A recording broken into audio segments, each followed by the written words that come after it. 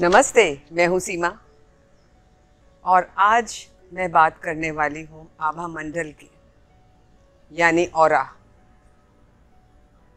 आभा मंडल, और, ये हमारी लाइफ को कैसे प्रभावित करता है?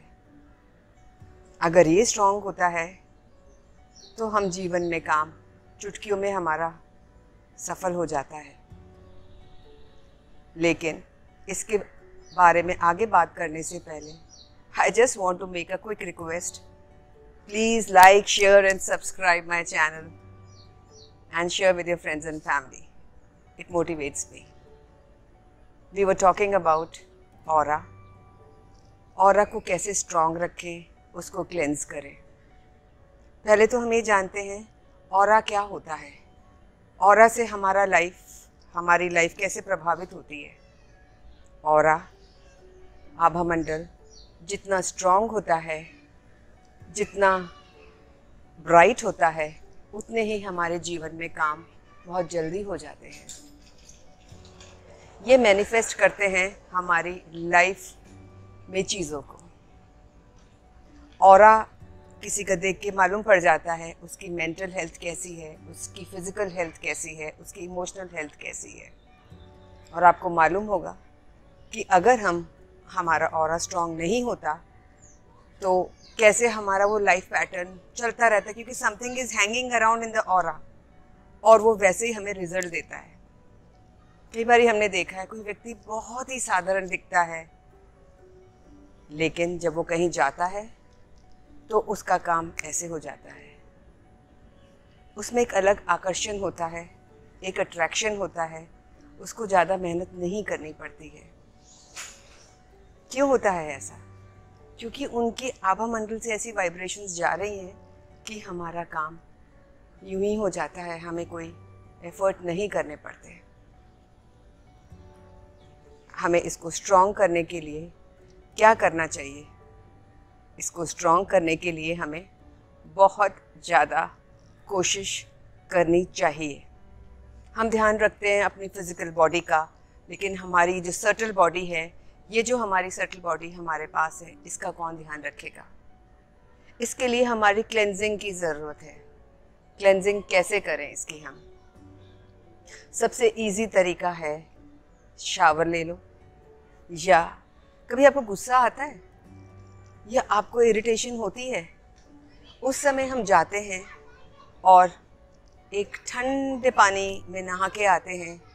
तो क्या होता है? हमारा और बिल्कुल क्लीन हो जाता है और और क्लीन होते ही हम ब्राइट हो जाते हैं। हमारी फ़िज़िकल बॉडी तो क्लीन होती ही है, लेकिन हमारा और भी क्लीन हो जाता है। हम ब्राइट हो जाते हैं और हम फ्रेश महसूस करते हैं।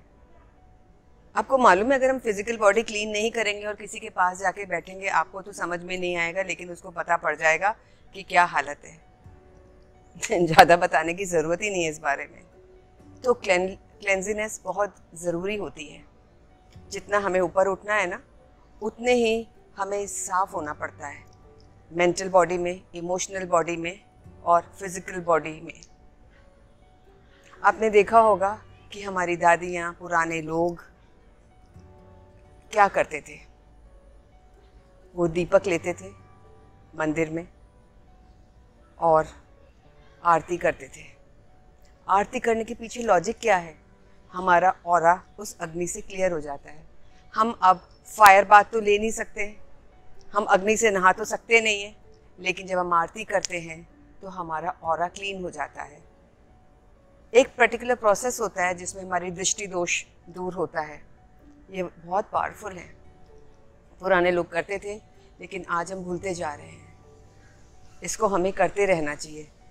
दूसरा तरीका, ये फ्रेश एयर फ्रेश ब्रीज है।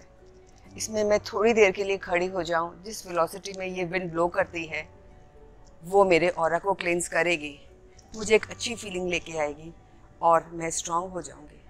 आप करके देखिए, आपको महसूस होगा, ये जितनी भी चारों तरफ़ हवा बह रही है, इसकी थोड़ी सी भी वेलोसिटी सही होगी तो हम अच्छा महसूस करेंगे। एक और चीज़ आपने देखी, शादियों में? मारवाड़ी शादियों में तो होता ही है कि एक नीम की छड़ी लेते हैं और नीम की छड़ी से हम जब लड़का जाता है वहाँ पे तो वो तोरण मारता है। नीम की छड़ी का क्या उपयोग है? नीम की छड़ी से हम नेगेटिविटी दूर करते हैं। नीम की छड़ी से भूत प्रेत लोग उतारते हैं गाँव में। नीम में वो ताकत है। नीम हमारी और को क्लीन कर देता है, हमारे आभा मंडल को साफ़ कर देता है।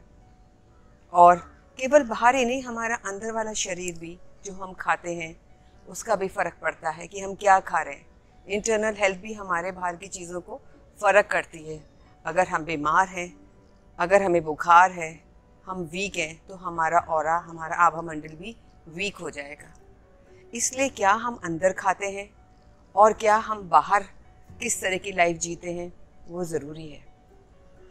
आपने देखा होगा, जब हम रिट्रीट्स में जाते हैं, जब हम नेचुरोपैथी में जाते हैं, वो हमें मड बात देते हैं। मिट्टी का पूरा लेप करके बिठा देते हैं और जब हम नहा के बाहर निकलते हैं तो बहुत रिफ़्रेश हो जाते हैं, आभा हमारा आभा मंदिर खिल जाता है। तो ये कुछ तरीके हैं जो हमें अपने लाइफ में लेके आने चाहिए, अपने और को क्लेंस करने के लिए। क्योंकि जब हम इसको क्लीन करेंगे तो जो हमारे पुराने पैटर्न्स हैं ना लाइफ में रिपीट होते जा रहे हैं रिपीट होते जा रहे हैं वो रिपीट नहीं होंगी, क्योंकि something is hanging around in our और and we are not getting good result तो मैं आशा करती हूँ, आपको समझ आया होगा कि और क्लेंस करना कितना ज़रूरी है। और ये बहुत ही सिंपल टिप्स थे, अगर हम इसको फॉलो करते हैं तो हमारा और साफ़ हो जाता है। हम जो भी चाहें मैनिफेस्ट कर देते हैं। हमारा और देख के तो लोग पास्ट की चीज़ें बता देते हैं प्रेजेंट बता देते हैं फ्यूचर अगर कोई बताता है तो वो बेकूफ़ी करता है, क्योंकि हम अपने कर्मों को बदलते रहते हैं और हमारा जैसे अच्छा होगा, हमारी फ्यूचर अपने आप अच्छी हो जाएगी। So I think now you understand कि और आभा मंडल स्ट्रांग होना ब्राइट होना क्लियर होना कितना ज़रूरी है। आप ध्यान रखिए अपने और को और देखिए आपकी लाइफ में कितनी जल्दी चीज़ें मैनिफेस्ट होती हैं। रेकी भी एक तरीका है। जब हम ध्यान करते हैं, साधना करते हैं तो हमारा और अपने आप स्ट्रांग हो जाता है। और ये तो और मीटर से चेक करेंगे तो आपको लगेगा आपका और काफ़ी दूर तक फैल गया है। Thank you you were listening to me I like you like this talk bye bye